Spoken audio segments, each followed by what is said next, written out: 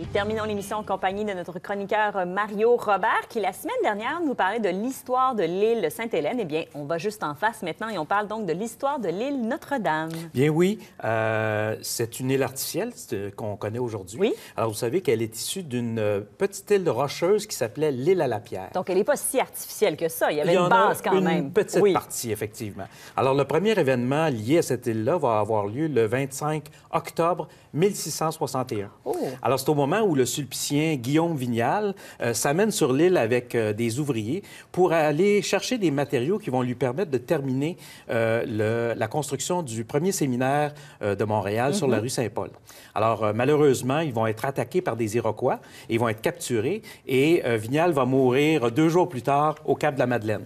Donc, euh, on va l'avoir amené jusqu'au Cap de la oui, Madeleine. mon Dieu, en deux jours, c'est c'est rapide quand même. C'était assez rapide, Oui. effectivement. Alors, en 1835, l'homme d'affaires Georges Moffat, un homme d'affaires montréalais, va être, devenir propriétaire de l'île. Et à partir de ce moment-là, l'île va être aussi connue, et surtout connue sur ce nom-là de l'île Moffat.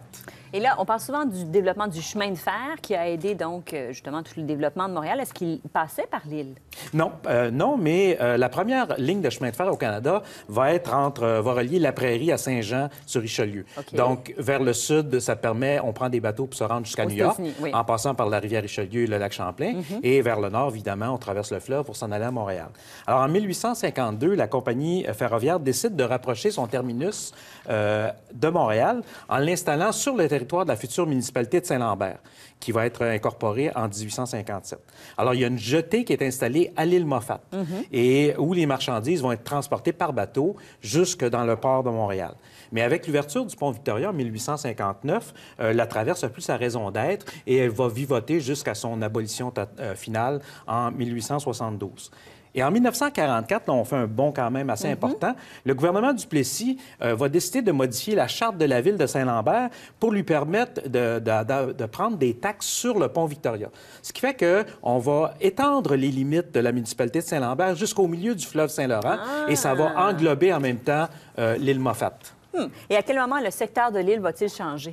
Bien, tout d'abord, avec les travaux euh, de la voie maritime du Saint-Laurent au milieu des années euh, 1950, on va créer les premiers remblais. Ce qui va faire qu'on va. L'île, les premiers, le premier euh, item de l'île, c'est les remblais euh, de la voie maritime du Saint-Laurent. Donc, aussi, comme on l'a vu la semaine dernière pour l'île Sainte-Hélène, bien, tout ce secteur-là est choisi pour la tenue d'Expo 67. Oui, bien sûr. Alors, euh, la ville va en profiter pour. On a inventé une île, Oui. disons, mais ça ne sera pas aussi facile que ça. Euh, le 28 mars 1963, euh, avec l'appui des deux paliers de gouvernement, le maire Drapeau va annoncer, euh, le, le- va présenter le futur site de l'Expo à la presse, puis va prendre soin euh, de, que la nouvelle île, à parfaite, qui est faite à partir de l'île Moffat, va prendre le nom de Notre-Dame. C'est à partir, en 63, qu'on décide de l'appeler de ce nom-là.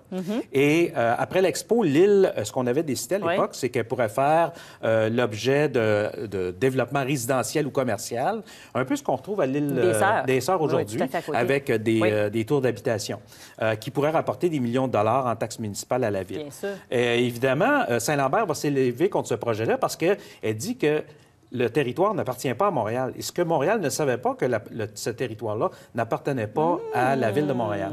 Donc, ce qui fait que le gouvernement du Québec va déléguer son ministre des Affaires municipales, Pierre Laporte, qui est un Lambertois, pour faire la médiation entre les deux municipalités, entre Saint-Lambert Il y a et déjà Montréal. parti pris quand Oui, même. oui, effectivement. Bien, encore, c'est surprenant. Alors, un mois plus tard, le gouvernement du- euh, de Jean Lesage Oui. va décider que Montréal va demeurer propriétaire de l'île euh, Notre-Dame après l'Expo, mais qu'il y a toutefois qu'il n'y aura aucun parc d'amusement qui va être créé là et qu'il n'y aura aussi aucune usine qui sera euh, installée dans ce territoire-là et aucune tour d'habitation non plus.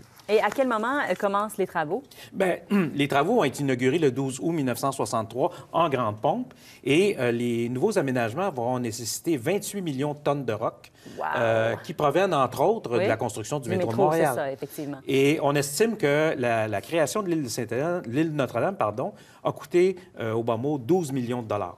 Et euh, le 30 juin le- 1964, la ville de Montréal va remettre les îles qui sont déjà prêtes à la compagnie de l'exposition universelle. Et là, on va commencer alors la construction des pavillons et euh, des bâtiments. Et l'Expo 67 va être inaugurée euh, le 27 avril 1967.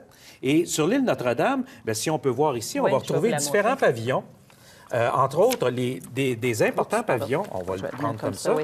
le pavillon de l'URSS, entre autres, qui est ici, le pavillon de la Grande-Bretagne, le pavillon de la France, le pavillon du Québec, le pavillon de l'Ontario et le pavillon du Canada qui est ici. Donc, les grands pavillons qui se retrouvent sur cette île-là, euh, Notre-Dame. Donc, on va disposer aussi de plusieurs canaux qu'on peut voir et de lacs aussi, euh, le lac des Régates, et d'endroits où on peut pique-niquer aussi euh, près du, comme on le voit, près ben du oui, pavillon ben oui. Alors, euh, le maire Drapeau va annoncer en 1900 de- de- que l'exposition va devenir permanente pour 68 et euh, sous le nom de Terre des Hommes. Donc, la vocation résidentielle et commerciale verra jamais le jour à- sur euh, l'île Notre-Dame. Il reste très peu de temps, peut-être quelques éléments qui ont été marquants donc, Oui, pour cette ben, en île. 1968, c'est le nouveau premier ministre de l'époque du Canada, Pierre Trudeau, qui inaugure la. Terre des Hommes. Ensuite, évidemment, il y a les Jeux olympiques avec la construction du bassin olympique, euh, le Grand Prix de Formule 1 à partir de 1978 qu'a gagné Gilles Villeneuve. Mm-hmm. Et en 1980, c'est les Floralis euh, qui euh, sont là. Et évidemment, à côté des années 90, c'est le casino et c'est aussi la plage euh, de- du maire Doré et qui va être nommée officiellement plage Jean Doré l'été dernier. Ben, merci beaucoup d'être nous parler donc Ça de l'île. Sainte-Hélène et de l'île Notre-Dame.